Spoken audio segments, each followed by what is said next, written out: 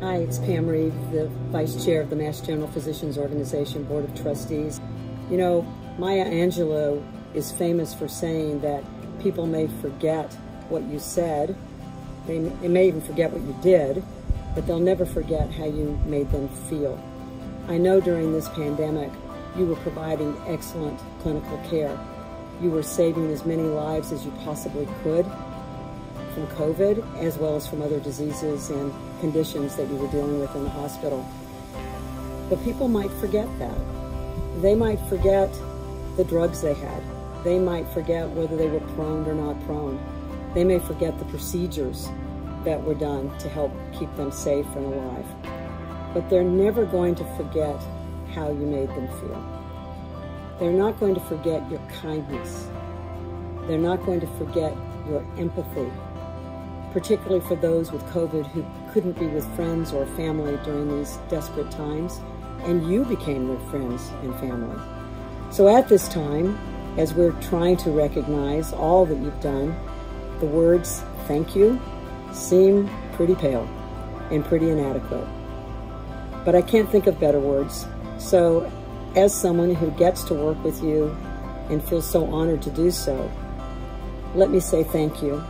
Today, I'm filled, filled with so much gratitude and also a boatload of pride for all that you are and all that you do. Thanks so much.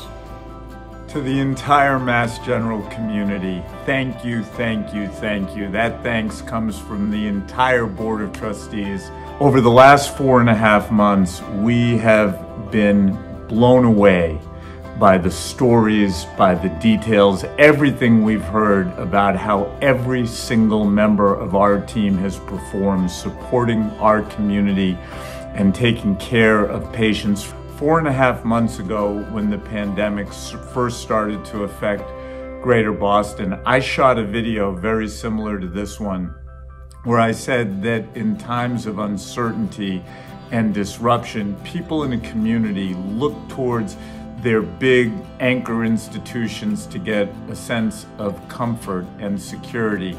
And in reality, it's the name of those institutions that provide it, but the element of the institutions that gives the sense of security are the people that work there.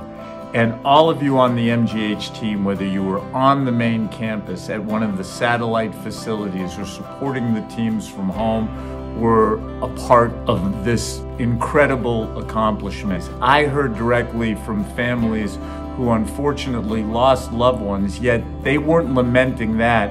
They would only talk about the care that they got at the hospital.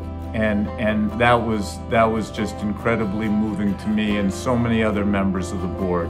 So once again, thank you for all of the individual efforts and the selflessness that you've shown over the four and a half months of this pandemic. There's, this is nothing like any of us could have imagined, and I can tell you that every single member of the Board of Trustees is eternally grateful.